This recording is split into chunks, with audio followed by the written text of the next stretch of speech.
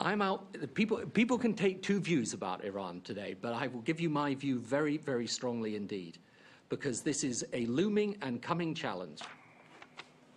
I'm out in that region the whole time. I see the impact and influence of Iran everywhere.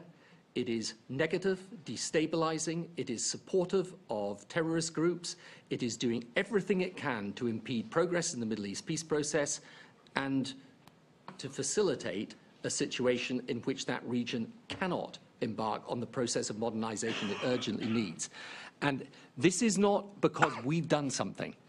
You know, at some point, and I say this to you with all the passion I possibly can, at some point the West has got to get out of this, what I think is a wretched policy or, or posture of apology um, for believing that we are causing what the Iranians are doing or what these extremists are doing. We're not.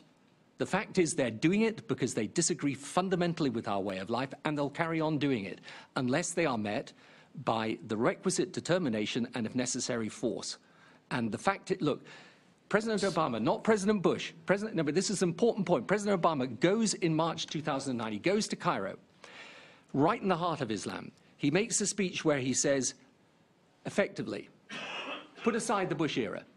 I'm now offering you the hand of friendship. You, Iran, can come into partnership. You're an ancient, proud civilization. We will welcome you in. What's the response he gets? They carry on with the terrorism. They carry on with the destabilization. They carry on with the nuclear weapons program. Now, at some point, we've got to get our head out of the sand and understand they're going to carry on with this.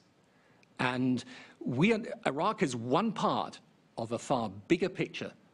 And right across that region, people are facing that struggle.